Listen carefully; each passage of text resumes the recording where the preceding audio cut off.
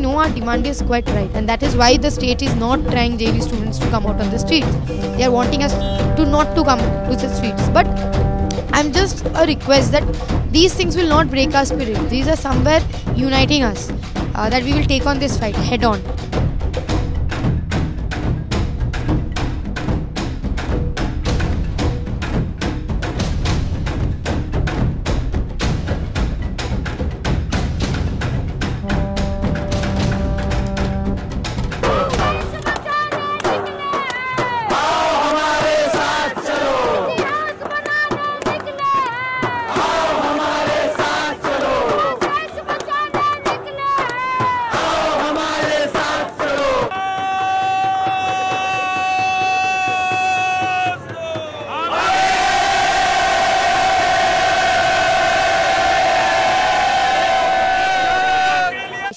एक राइट होना चाहिए। It should not be a privilege कि सिर्फ़ कुछ चंद लोग जो ज़्यादा फ़ी अफोर्ड कर सकते हैं, सिर्फ़ वही आगे पढ़ें।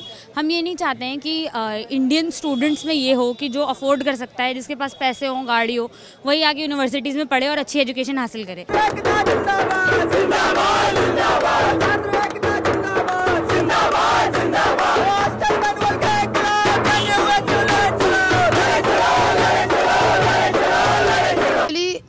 On 18th of November, if everyone remembers, we had marched to um, with a long march where we were seeking the help of the parliamentarians that how education has been sold, how JNU is no, no more will remain any more accessible. And also we were telling that the how uh, education, the budget in education should be increased. But exactly on 18th of November, we were brutally lathi charged, one of the worst lathi charge that has happened on students. We saw how journalists were beaten up and uh, what not happened. After that, uh, MHRD had formed a high power committee. The committee had its hearing. And what we were expecting, at least something will come out after that, and certain things will not be repeated. But what happened, we were assured when we did a march in between to MHRD. Very peaceful march. We went to MHRD. We met again, and we were assured that by Monday we will get the report will be public, and uh, we will also get an appointment with uh, Ramesh Pokhriyal, who is the HRD minister. But after Monday, it passed on to Tuesday, Wednesday, and it didn't happen. I even mailed uh, the Joint Secretary uh, of Department of Higher Education, GC Hosur, that uh, we want an appointment and what is it as promised to us. No reply came. Suddenly from yesterday there was a pressure that we should be meeting MHRD and we shouldn't be going for the strike. And we told that we were waiting. MHRD had assured us that the visitor will sign it and the recommendations will be made out to public, which didn't happen. What we want is a complete rollback. Before that, we are not settling with anything.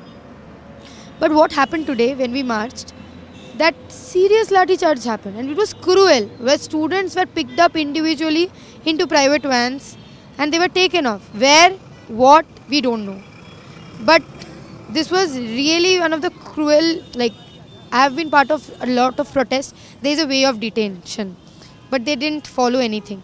Women were detained post 6, which is not allowed. So it's really inhuman the way they are actually handling the protest.